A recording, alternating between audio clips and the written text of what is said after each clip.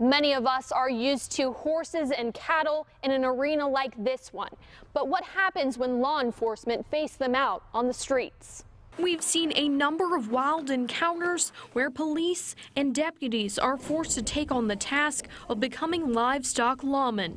A bull escaped on the streets of Oklahoma City. There's a cow I almost ran over on California and Dewey. And when a pony went on the run along I-40 near Yukon, just to name a few. If you've never herded cattle, that can be an adventure. Captain Kyle Gibbs with Stillwater Police has had his fair share of trying to round up a loose horse or even a bull in his 35 years on the force. Black Angus bull, uh, and that was and it was midnight, and that was exactly our fear that a car is going to come through there not see it. Gibbs grew up around livestock, but that's not the case for some law enforcement officers, including one in their department. He shows up and basically called back to the dispatcher and said, yeah, Central, there's a cow on the roadway. And when asked to describe it, he goes, well, it's brown.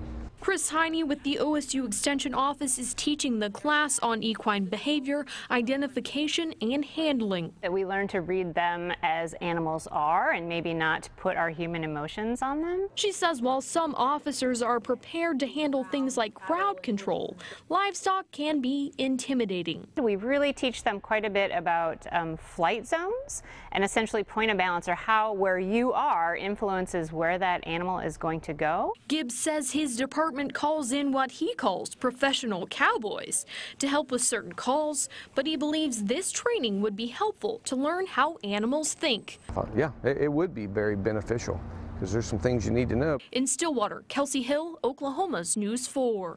And that class is set to happen at Lazy E Arena in Guthrie later this month.